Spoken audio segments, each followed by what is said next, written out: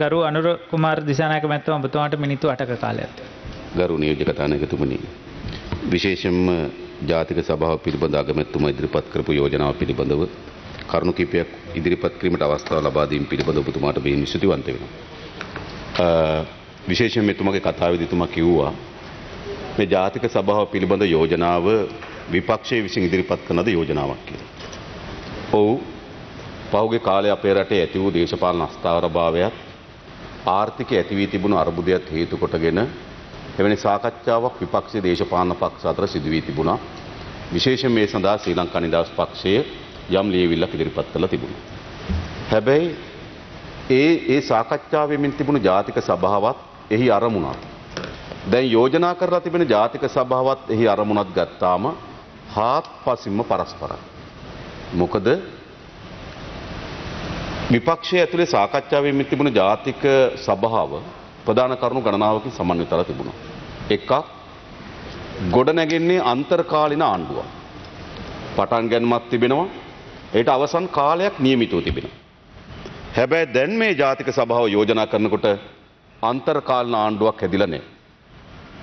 දෙක එම අන්තර්කාලින ආණ්ඩුවේ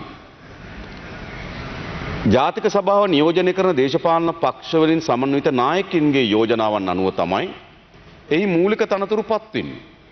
අග්‍රාමාත්‍යවරය සහ කැබිනට් මණ්ඩලය කැබිනට් මණ්ඩලයට අදාළ විෂයපතය. හැබැයි දැන් ගරු සභා නියෝජ්‍ය කතානායකතුමනි මේ සියල්ල කරලා ඉවරයි. අගමැතිවරයෙක් පත් කොට තිබෙනවා. කැබිනට් මණ්ඩලයක් පත් කොට තිබෙනවා.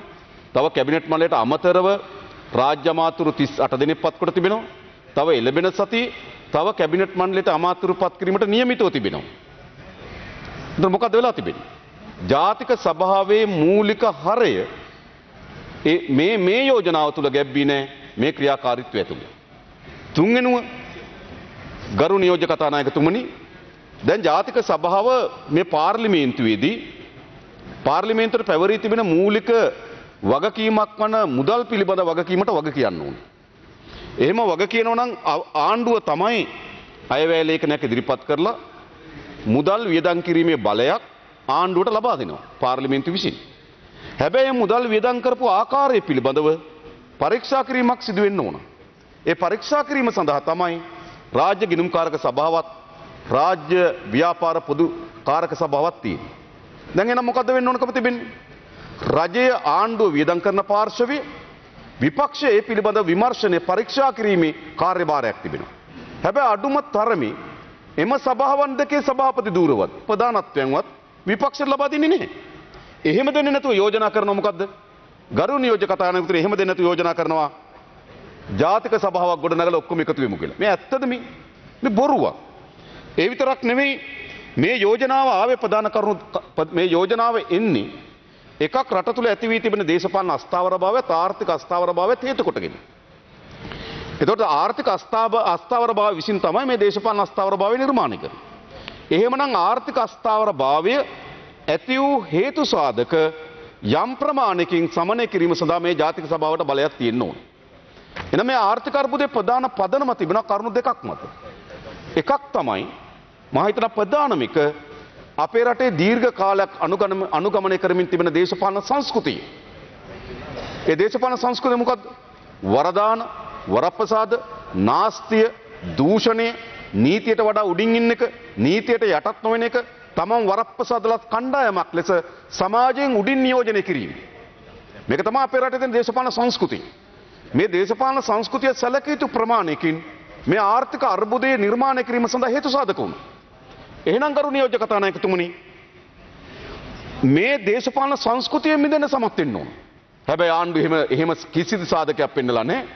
අමාත්‍ය දුර පත් කිරීමෙන්, රාජ්‍ය අමාත්‍ය දුර පත් කිරීමෙන් සහ පහුගිය කාලේ සිද්ධ වුණු ගෑස් පිළිබඳව මිලදී ගැනීමේදී ඇති වී තිබෙන ගනුදෙනු පිළිබඳ සාකච්ඡාවේදී තෙල් මිලදී ගැනීම පිළිබඳ ඇති වී තිබෙන සාකච්ඡාවන්හිදී මේ සියල්ලංගෙන් පෙන්눔 කරන්නේ කුමක්ද?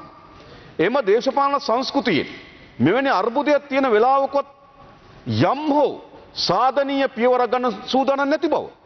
එහෙමයි අපිට ආරාධනා කරන්න ජාතික සභාවකට. දෙක මේ සඳහා ආර්ථික වැඩපිළිවෙල. කෙටි කාලීන. හැබැයි ආර්ථික වැඩපිළිවෙල මොකක්ද?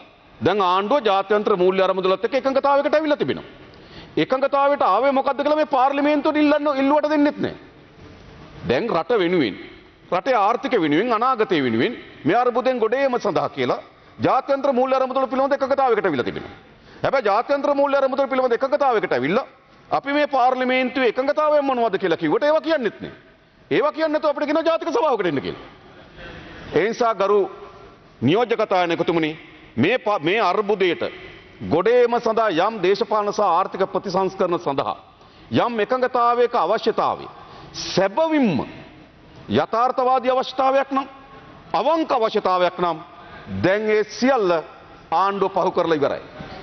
ආණ්ඩුව මෙම යෝජනාව ඇතුළේ අවංකභාවයක් නෑ. තම මිනිත්තු ආණ්ඩුව මෙම යෝජනාව ඇතුළේ ගරු ගරු නියෝජක කතානායකතුමනි යථාර්ථවාදීත් නෑ දැන් මේ.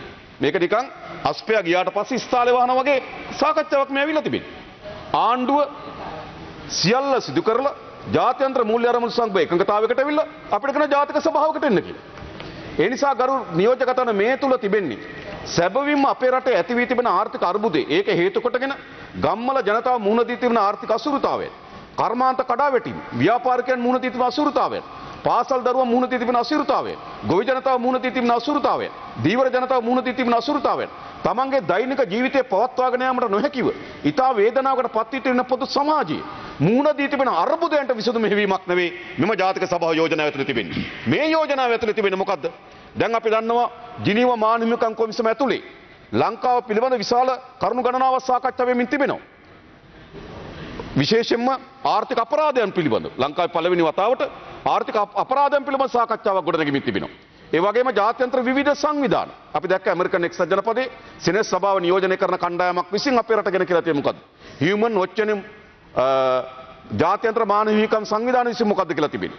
ජිනීවවල ජාත්‍යන්තර මානව හිමිකම් සංවිධානය මොකද්ද කියමින් තිබෙන්නේ. ඒ සියල්ල කියමින් තිබෙන අපේ රට වංචාවෙන් දූෂිතයෙන් පිරිච්චි රටක් වගේම ආණ්ඩුවට ජනවරමක් නැහැ කියලා. නෑ මේ ආණ්ඩුවට ජනවරමක්. මේ ජනාධිපතිවරයාට ජනවරමක් නෑ. මේ ජනාධිපතිවරයා ජනතාව විසින් තෝරාපත් කරගන්න ලද ජනාධිපතිවරයෙක් නෙවෙයි. මේ ජනාධිපතිවරයා පාර්ලිමේන්තුව විසින් තෝරාපත් කරගන්න ලද ජනාධිපතිවරයෙක්. ඒ නිසා මේ ජනාධිපතිවරයාට ජනවරමකුත් නෑ. මේ ආණ්ඩුවට පිළිගැනීමකුත් නෑ.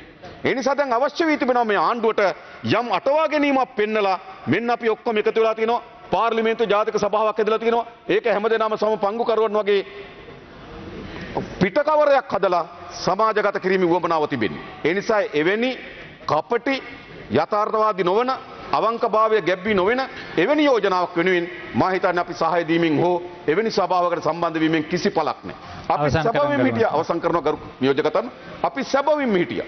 මේ පාර්ලිමේන්තුව ඇතුලේ සෑම දේශපාලන පක්ෂයකටම සමාන අයිතිවාසිකම් ලැබෙන යම් අන්තර්කාලීන ආණ්ඩුවක් හැදිලා යම් සාමාන්‍යකරණයකට පත් කළ රට ජනවරමකට ගිහිල්ලා නව ආණ්ඩුවක් ගොඩනැගීම සඳහා න්‍යාය පත්‍රයකට අපි එකඟතාවයෙන් හිටියා.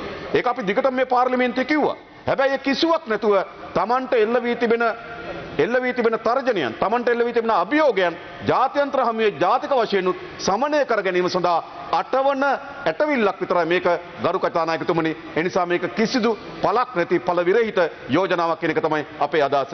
බොහොම ස්තුතියි. නියෝජක කතානායකතුමනි. බොහොම ස්තුතියි ඔබතුමාට. Asianmirror.lk